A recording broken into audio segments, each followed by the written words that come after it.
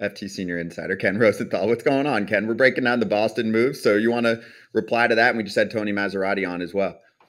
AJ's absolutely right. Boston fans would never go for a full tank job.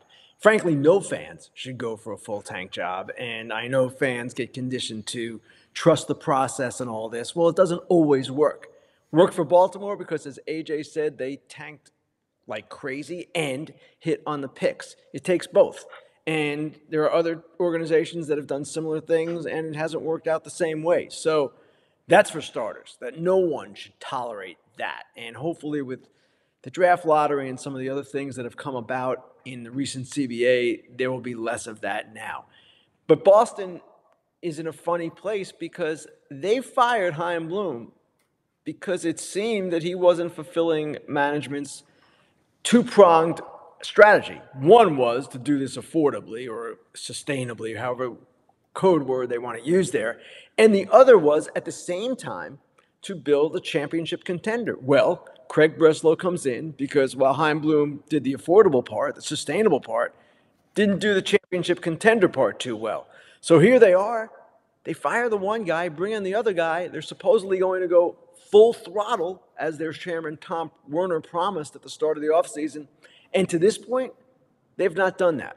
Now, I agree. They need one more big move on the pitching side, Snell or Montgomery.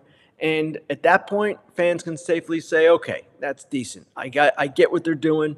But while I like the Grissom trade a lot for them, at the same time, they have not been as aggressive as other large market teams. And make no mistake, they are a large market team. I'm with you, Ken. And also, by the way, um, as you're welcome back, many fans saying you look well rested. So that is Tell a, thank you. I, I, will. That is a big compliment. And a little bit happened, not a ton, but a little bit happened during that little stretch. So that's the Boston side of things. Just wanted to get your take first off over the past week. What else stood out to you um, that we missed where front offices were supposed to be snoozing a little bit and weren't completely shut down as we saw? The biggest takeaway was the Sale trade by far. Mm-hmm. And some of the other moves were interesting. Mitch Garver, Kiermaier, of course. But no one really expected Chris Sale to get traded. He gets traded to a team that needed a starter, but was probably thought to be doing bigger things than Chris Sale. And yet, the way this deal works for the Braves, it works out really well because they're essentially not paying Chris Sale anything. That money he is owed that is not in the deal. They got 17 million from Boston, but the 10 million he's still owed, or 10 and a half, most of it, 10 of the 10 and a half, is deferred until 2039. So Alex Anthopoulos doesn't have to worry about that. He won't most likely be the president of baseball operations in 2039. Also, they give up one player, a good player, Vaughn Grissom, but not multiple players, like you saw go for Tyler Glasnow, like will go for Dylan Cease and Corbin Burnes if they get traded. And you're essentially trading a guy that was going to be an interesting piece for you, Vaughn Grissom. It's kind of a safety net for Jarred Kelenic in left field, but not a necessity. So the real question for Atlanta is was Sale a big enough or good enough addition, considering, of course, how often he's been hurt in recent years? Now, I love Chris Sale. I'm a Chris Sale fan. He came back kind of nicely last year, even though he missed some time. If it works out, great for the Braves. If it doesn't, they're looking at pitching issues, maybe not just this year, but beyond. Is there a situation where the Braves come out looking like they're the winner of this trade, even if Vaughn Grissom turns into the hitter that Alex Anthopoulos said he's going to be, possibly a batting title champion? The way the Braves win the trade, Erik, is simple. If Sale is good this year, pitches them into the playoffs, starts playoff games for them, and then is good enough for them to pick up his $20 million option for next year and effectively becomes a two year player for them, then they are satisfied with the trade. Then it's a good trade for them. And in some ways, they see Sale as kind of what Charlie Morton was when they got him before the 2021 season. Morton had been hurt the year before, the COVID year and of course has done great things for the Braves. I'm not sure we can count on Chris Sale to be what Charlie Morton has been for the Atlanta Braves, but if he is, then yes, the Braves will have done quite well. Ken, first time I can ever tell you this, you're wrong because Scott already said there's no way they're picking up his $20 million option because, you know, it's not Chris Sale of old and this and that. Bullshit, Scott. You're wrong again. Um, by the way, we'll next see. time, we'll see. Next time, Ken, you go on vacation, can we get some decorations for wherever the hell you are behind you? Because that white wall is distracting. And then my real you're question distracted is, by a white wall, AJ? That's interesting. Yes. Normally you're in the laundry room or in a closet. So, so this is a big step for you, Ken. Thank you. All right, which of the which of the big free agents left is going to be the next one to sign? Will it be Snell, Bellinger, Montgomery? I mean, I guess maybe Imanaga because doesn't he have a posting time where his time is up after being posted? So, which one of these guys do you think will be the next big name to sign?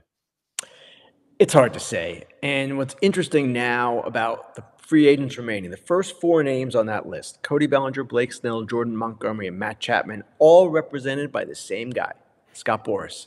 And Scott has been known over the years to move at his own pace. Sometimes that's quick, more often it's deliberate. And in this case, he now has the top of the market, both the position player market and the starting pitching market, as well as some other players. Rhys Hoskins is also a guy he represents, Sean Manaea. So we'll see how this progresses. I don't know that you can predict it. And it's just going to be really interesting because there are so many teams still. You mentioned the Giants and Red Sox with needs. I would say the Cubs are in that group. I would say the Orioles are in that group. The Blue Jays, we can really go right down the line. The Yankees need another starting pitcher. So, with all that demand, I would expect that the remaining players are going to do okay. The good ones, the guys you had on that list. Other than that, we'll have to see. What's going to drop first? The Corbin Burnes trade slash you know, the not Shane Bieber, he's not in that category. It, or is it a free agency signing and then whoever doesn't get the free agents gets the Corbin Burnes, Shane Bieber type of level of players? Dylan, Dylan Cease. Cease also, of course. Dylan Cease, thank you. I knew there was yes. one other person. Had a week and off. don't worry, I was confusing Dylan Cease with Corbin Burnes this morning on a text message chain, and that was not good. So we're all starting a new year. I don't know what happens first, Erik. Certainly with Cease, the White Sox plan has been to wait for the starting pitchers to go. And then if someone's desperate at that point, which someone most likely will be, that's when they're going to make their best deal. Is it possible they make it before then? Is it possible the Brewers get what they want for Corbin Burnes? Of course. These things are always possible. But it would seem to me that the trades would most likely, most likely, I don't know for sure, come after Snell and Montgomery. And um, in your mind, Ken, you know, I know right before uh, we got to the new year, we were talking about some teams that still have to make some some major moves. Uh, we covered Boston, I think, plenty just now. Would the team that pops up the most in your mind still be the Cubs? You think the Giants are going to make major moves at this point? It's kind of the teams we've been talking about looking to strike. I'll throw one more team out there for you, which we'll get to this later with our group. But the Blue Jays bringing in Kiermaier and IKF after the obviously devastating loss for them to not get Shohei Ohtani. I think there are still high expectations for them to do some damage this offseason. I would agree with that, all of that. And I would even put the Reds in this group. I know they signed Montas over the holidays, but they could still do more. They still have a trade to make if they want to. So, this is exactly what we're talking about with regard to the market a number of teams that would never classify themselves as desperate rather than just looking because they don't want to compromise their leverage. But I would suggest that they're a bit desperate. And the Giants are in that group. The Cubs are in that group. The Blue Jays, to some extent, are in that group. I think the Orioles have to come away with a starter this offseason. They've signed Craig Kimbrel. Not enough. So a number of these teams, and I'm missing some, I'm sure, still have a lot of work to do. And that's what's going to drive this thing as we go forward. One more. What about the New York Yankees? So they come up short on Yamamoto. I don't know if we really went over the aftermath there, but you at least had the one rumor pop up that, oh, they don't want to pay for Yamamoto as much as Gerrit Cole would get. How dare they? They might insult their ace, Ken. I don't know if you saw that one pop up, but your thoughts overall on where the Yankees are at, because I do think they're still trying to make a major splash as well. Well, actually, Scott, I wrote about that the night Yamamoto signed. The idea of going over Cole and whether that was a deterrent or not. They'll never admit it was a deterrent. I believe it was. And I don't know that it should have been. And if we ask Gerrit Cole the question, would you have been bothered by that? His public answer probably would have been, no, not at all. I just want our team to win the World Series. But privately, if you're Gerrit Cole, what are you thinking? You're thinking this cat has never thrown a pitch in the major leagues and he's getting the most money for a pitcher in major league history, more than I got coming off what I was coming off of in Houston. That might have been a difficult sell. And the Yankees were cognizant of that. I'm sure they were. Now, whether that was why they didn't go to 325, I don't know. But as I wrote, right before I went on vacation, their offer was quite good. It had a higher AAV, 30 million a year. It had more money up front in the first five years of the deal, and then the opt out after five years. With the Dodgers, Yamamoto's opt out is after six. So you could argue that while the guarantee, the total, wasn't as high, the deal was in some ways better. Early opt out, earlier opt out, and the higher AAV. So the Yankees yes, they did not sign Yamamoto, but they certainly made a sincere effort, even without going over Gerrit Cole.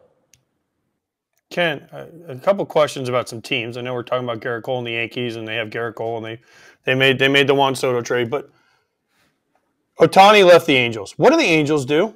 And, and, and the Cubs are the other team for me. What, are the Cubs going to do? Because the Cubs are on the you know they signed Craig Counsell on the precipice of allegedly taking the next step. They haven't done anything. Okay, and the Angels, they lose Ohtani, so they're they're supposed to have a bunch of money to spend. They still have Mike Trout, they still have Rendon, they still have some pe- younger pieces there. What are what is their plan? Because nobody's no one's even talking about the Angels, and I know that I know the the ownership Moreno and that is a big deal. But what are the plans for the Angels and the Cubs? Because they haven't done shit. All right, it's going to take me a while to answer this. The Cubs are obviously looking to either re-sign Bellinger or replace Bellinger. Doesn't have to be through free agency, could be through a trade. They also have to replace Marcus Stroman.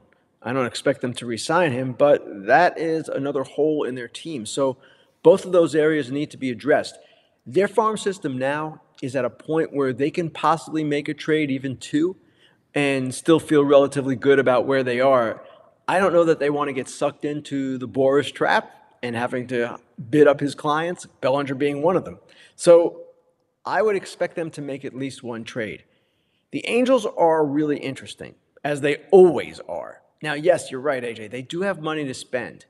And I expect that they are going to spend some more money. Who knows how much? That's Artie Moreno's choice, and that could change any day, for better or for worse.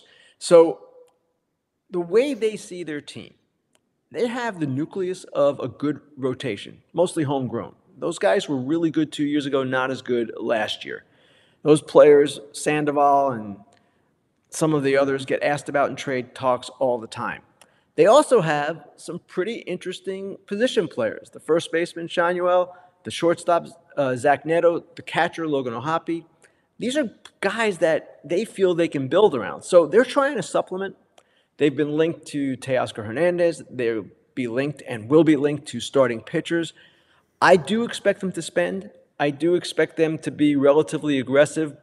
Obviously, for them to have any kind of success, they need Trout and Rendon to stay on the field, and that hasn't happened. So they're an interesting team, no doubt. I don't know that we can call them a coherent team. We haven't been able to call them that in a while, but I expect them to do some things in the days and weeks ahead. Ken, it is great to see you. We have a lot of off season left to go here, which is kind of nice for January. It's not going to be a boring January by any means. We're sometimes a little quieter. Um, fair territory is coming soon, so we'll get some questions I think from fans called out a little bit later today. And I also will end with this: the fair territory that you did right before um, we got to New Year's still very much applies as it's a good recap of 2023. So it is great to see you. Happy New Year. We'll catch you uh, in a few days. Thanks, guys. Appreciate it, Scott.